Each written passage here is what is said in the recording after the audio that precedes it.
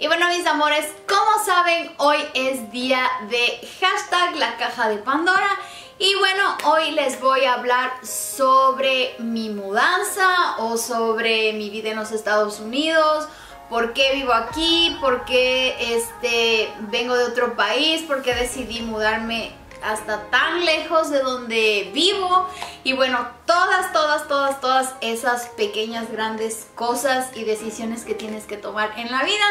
Así que si es que quieres saber un poquito más de mí, ponte cómoda, ve y trae tu snack favorito, tu té o lo que quieras porque este video va a comenzar. Bueno mis amores, antes de comenzar este video vamos a ir como por partes y bueno la historia sí está un poco larga y se, y se divide en muchas más historias así que bueno me voy a enfocar solamente este, en contarles por qué vivo en los Estados Unidos, ¿ok? Este, como uh, si es que eres nueva y no me sigues desde hace mucho y bueno, si no me sigues en mi canal de vlogs, ve a seguirme. Pues este, les cuento a mis amores, soy ecuatoriana, nací en Ecuador y viví toda mi vida en Ecuador. Vivo en una ciudad que es uh, muy cerquita, bueno, viví en una ciudad que es muy cerquita a la capital, que es Quito. Y bueno, este, como saben, ahora vivo aquí en los Estados Unidos. Pero bueno, mi historia comienza este, cuando conocí a la persona con la que me casé, que bueno, ahora es mi esposo. Este, quiero hacerles una caja de Pandora muy aparte de cómo conocí a mi esposo, pero esto empieza ahí. Cuando conocí a mi esposo, este, yo sabía que él era una persona americana o que era, este, vivía aquí en los Estados Unidos, pero nunca en mi vida me imaginé que pues me iba a casar con él ni que tampoco pues iba a venir a vivir acá. Y bueno las cosas se dieron y pues nos juntamos, nos entendimos súper súper bien. Y este él decidió hacer un trámite que es este como pedirme como su prometida. Y pues él me trajo hasta aquí, hasta los Estados Unidos. Y bueno, este, obvio ustedes saben que tengo mi hijo y pues él vino conmigo. Eh, ¿Cómo me siento aquí? ¿Cómo me ha dado este cambio eh, de culturas? ¿Cómo es, ¿Cómo es no saber hablar el idioma? ¿Cómo aprendí a comunicarme? O bueno, ¿cómo estoy aprendiendo a hacerlo? Es lo que les voy a contar. Ok, mis amores, después de este pequeño preámbulo de cómo ya saben que por qué estoy aquí, es porque ya les dije, me casé con una persona americana y pues él fue la persona quien me trajo aquí y pues vivo aquí. Eh, la verdad, haber cambiado de una cultura latina a una cultura eh, estadounidense es un cambio muy diferente, es un cambio como 360 grados. Vamos a comenzar y les voy a contar el idioma. Cuando yo vivía en Ecuador sabía el idioma ah, este, inglés básico. Ya saben, el típico my name is, cuántos años tienes, where are you from. O sea, cosas básicas que te enseñan en el colegio, en la escuela o en la universidad. Nada fuera del otro mundo. Así que si es que evaluamos mi inglés del 1 al 10, mi inglés era como un 4 en, no sé, en hablar y un 5 en entender prácticamente. Así que para mí el idioma fue algo o es algo todavía un poco difícil. Eh, estudio, estudio, voy a, a una escuela para aprender a hablar inglés, para aprender a escribir inglés y este, el cambio este, me pegó muy fuerte porque como les digo yo solamente sabía lo básico, yo nunca estudié en escuelas eh, especiales para hablar en, eh, o aprender a hablar en inglés en mi país, así que sinceramente no me avergüenzo de eso. Si me preguntan, Karen, antes de venir a los Estados Unidos, ¿sabías hablar inglés? No, no sabía hablar nada de inglés. Ok, mis amores, déjenme, me acomodo. Ok, este, vamos a hablarles sobre la comida. Uf, esto sí fue algo como que por mi estilo de vida este, por, la, por la manera en la que este, llevo mi estilo de vida ya hace como dos años, pues sí fue como un poco uh, traumante. No les miento, aquí hay un montón de comida riquísima. Bueno, comida riquísima para mí. A mí me encantan los helados, pizzas, hamburguesas, papas fritas, todas esas cosas a mí me encantan. Y sinceramente, este los primeros, eh, eh, más o menos como que cinco años llevo viajando, yendo a Ecuador y viniendo a Estados Unidos, pero alrededor ya de un año vivo, ya me establecí aquí, ya no he viajado a Ecuador, no he vuelto a Ecuador, así que las veces que iba, venía aquí a Estados Unidos y regresaba a Ecuador, regresaba súper gorda, súper, súper, súper, súper gorda y era porque mi comida y mi alimentación era faltar. Aquí la comida rápida está a la vuelta de la esquina. Si yo salgo de aquí a mi casa, no les miento mis amores, a dos minutos hay un McDonald's, a dos minutos para acá hay otro McDonald's, hay Burger King, hay un montón de sitios en donde encuentras comida rápida. Y pues sí, este venía, comía y comía y comía, nunca este me encantaba ir a los buffets de pizzas más todavía hemos ido, pero ahora es como que ya no frecuentamos mucho esos sitios, este, trato de preparar muchísimo, como al 100% la comida aquí en casa.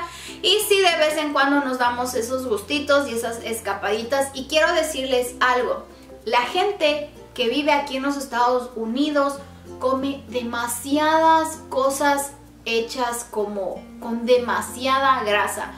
Este, a las tostadas o al pan tostado le ponen demasiada mantequilla. Este, las papas son como que con mantequilla, tocino y todo, todo, todo, absolutamente todos mis amores tiene un montón de grasa y es por eso que aquí tiendes a subir mucho más de peso si es que no te sabes cuidar.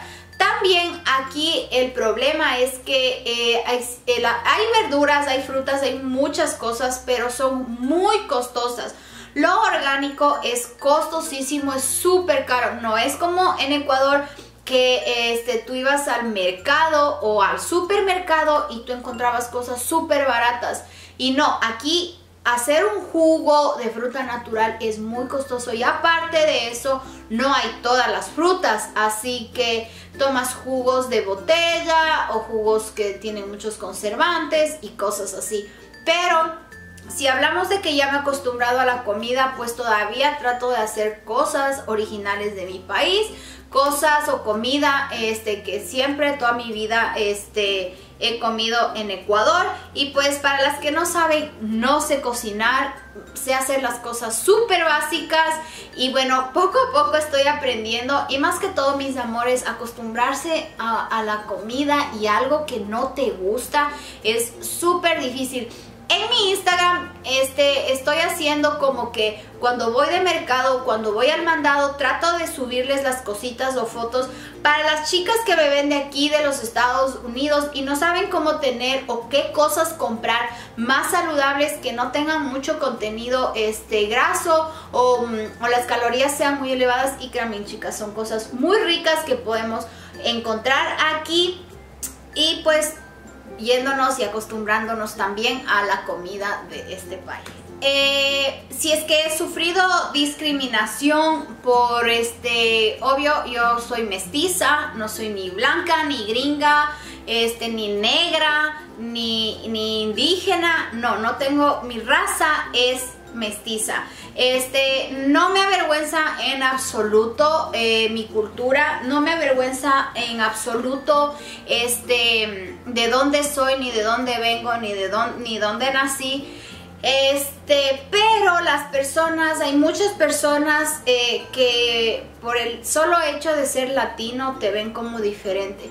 Y no quiero decir ni generalizar ni nada por el estilo, pero sí existen personas muy, muy, muy, muy contadas que a veces tu acento es tu acento cuando hablas de inglés es un acento latino y me ha pasado un montón de veces que voy a un sitio y pido algo o pregunto algo o trato de decir algo y la persona se queda como que entonces o me dice simplemente no no te entiendo I don't understand you. Yo, pero te estoy hablando, te estoy diciendo, esa es la manera en la que este, he vivido discriminación aquí en los Estados Unidos. También eh, ha habido muchas veces eh, que entras a un sitio y tú muy educada, muy, este, como, ah, muy, muy, eh, se puede decir como muy atenta, entras saludando, o sea, obvio, es la educación, la persona que llega saluda. Y muchas veces sí me ha pasado que he ido a sitios y pues saludas, hi, hello o cualquier cosa y nada, o sea, simplemente siguen en la computadora escribiendo o ni siquiera te dicen nada. Y bueno, esas han sido las maneras en las que he sufrido como discriminación por ser eh, latina y viviendo aquí en los Estados Unidos. Y bueno, mis amores, esta caja de Pandora, este, bueno, con esta caja de Pandora quiero dejarles un mensaje muy, muy grande. Muchas personas, este, viajamos, nos vamos a otros países, muchas solo por un tiempo y muchas otras como yo para vivir, para hacer tu familia, para ya este, quedarte aquí y como hacer tus raíces aquí. Este, y sufrimos en el idioma, en la comida, con las personas que nos sentimos discriminados y muchas veces te deprimes por eso pero Dios sabe cómo hace las cosas. Estás en este país, en ese país o en tu país donde naciste por algo. Por algo eh, Dios te pone en donde estás y con las personas que estás. Eh, muchas veces este, hay que luchar, hay que salir adelante, no tienes que darte por vencido, eh, siempre se van a presentar eh, obstáculos, dificultades y todo, todo, todo, todo tiene solución. Solo para la muerte no hay solución, mis amores. Eh, me siento muy agradecida, como les digo, para mí estar aquí, puedo superar lo de la comida, la discriminación realmente no me afecta porque no es que, ay, tienes el, autoestima súper alto, no mis amores, pero sé quién soy, no soy una mala persona, no hago el mal a nadie y tampoco este, quiero que nadie este, se sienta perjudicado o se sienta lastimado eh, por mí. Así que eso de la discriminación a mí es como que me resbala para serles sincera. Si es que te saludé y no me saludaste, pues el mal educado eres tú. Si es que te hablé y no me entendiste, pues te vuelvo a repetir hasta que me entiendas. O simplemente hago en, eh, en Google Translate y te digo lo que te quiero decir y todo, para todo hay solución. Y bueno, como les digo, mis amores, para mí lo más difícil es el idioma y bueno, de a poco lo estoy aprendiendo. Este, lo, mm, lo, que más fácil se me hace es entender cuando me hablan, pero se me hace muy difícil eh, hablar. Eh, tengo mucho miedo como que equivocarme o a decir alguna palabra o el acento mal y que vaya a significar otra cosa, créanme que eso siempre me pasa. Pero bueno, este, para eso estoy yendo a la escuela. Eh, mi esposo habla 100% inglés, 100% español y pues este para los que no saben, Mateo estudia aquí en la escuela. En la escuela de Mateo el 1% de los alumnos eh, habla español. Solo hay tres niños en su escuela que hablan español. Entre los tres está Mateo y hay dos niños más que son chiquitos que hablan español. No hay nadie más que hable español y pues si es que quieren ustedes saber la experiencia de él, déjenme aquí abajo en los comentarios para traer a Mateo aquí en un video. Y bueno mis amores, no quiero hacer esta caja de Pandora mucho más extensa. Déjame aquí abajo en los comentarios cualquier pregunta, cualquier duda que tengas. Este, eh, si es que yo te puedo ayudar sobre cómo puedes aprender inglés, eh, en dónde puedes ayudarte para aprender inglés. Déjame, déjame todos, todos, todos tus comentarios aquí abajo. Y si quieren que haga un video mostrándoles todas las aplicaciones que utilizo para aprender inglés, tanto en la computadora como en mi celular y todas, todas, todas las cosas que he hecho para mejorar mi inglés, déjenme aquí abajo en los comentarios. También cuéntame tú si es que vives en otro país, qué es lo que más te ha pegado, qué es lo más feo que te ha pasado. Y pues como saben mis amores, ustedes pueden contar conmigo. No se olviden de darme like si les gustó este video, compártelo, compártelo, compártelo, porque videos como este creo que ayudan a muchísimas personas directa o indirectamente, mis amores. Uno no sabe por qué situación está atravesando tal o cual persona. Así que bueno mis amores, yo he llegado al final de este video y me despido. Besos. Bye.